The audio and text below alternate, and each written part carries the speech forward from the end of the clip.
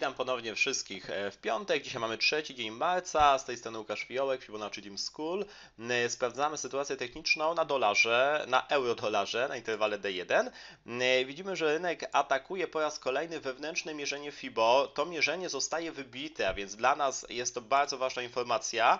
Mam na myśli tę świecę z drugiego, z dnia wczorajszego. Dla nas jest to ważna informacja w kontekście takim, że jeżeli rynek wybija jeden poziom FIBO, w tym wypadku 61,8, kierujemy się na poziom następny, czyli pierwsze bardzo ważne wsparcie, na pewno na kolejny tydzień, no możliwe, że dzisiaj mm, jakiś, jakaś próba ataku również będzie, bo tak naprawdę nie jest to jakaś bardzo duża odległość, około 80 pipsów, ale co chcę powiedzieć, na pewno najbliższa zapora popytowa, czyli miejsce, gdzie, y, które interesuje mnie do zajmowania długich pozycji, znajduje się w okolicach 1.0444. Tutaj zaznaczamy te strzałki, zwróćcie uwagę na tę strzałkę e, ostatnią, dokładnie tę, którą zaznaczyłem w tym momencie. Dlaczego ona jest ważna? Dlatego, że w dniu 11 stycznia mm, e, nastąpił, nastąpiła bardzo silna akcja popytowa w tym miejscu. Było bardzo mocne zrzucenie, prawie 100 pipsów i rynek w tego samego dnia, to jest interwał dzienny, wyciągnął zostawiając bardzo długi cień. Tego typu punkty odniesienia, dolne ograniczenia pin barów, bo nic innego to,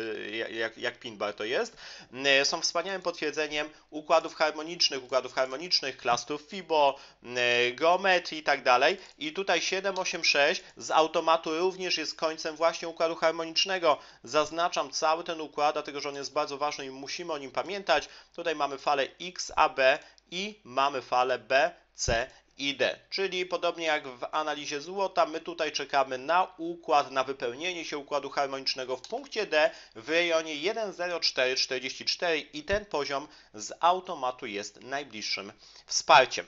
Jeżeli chodzi o interwał e, intradayowy, jednogodzinowy, rysuje nam się bardzo fajny setup, o którym również powinniśmy pamiętać. Typowe zagranie możliwe, oczywiście jeżeli rynek się wypełni, e, typowe zagranie intradayowe wykorzystujące mm, klastry FIBO, a dokładnie poziomy Dinapolego. Z pewnością już te poziomy e, dojrzeliście, to są dokładnie te E, dokładnie te rejony, czyli różnica między 38,2 a 61,8 jest niewielka. Właśnie w tym momencie ją odczytuję. Zobaczcie, to są około 4 pipsów, a więc relatywnie bardzo mało. E, Zaznaczamy ją troszeczkę innym kolorem, z racji tego, że jest to zapora podażowa, ten kolor będzie ciemniejszy.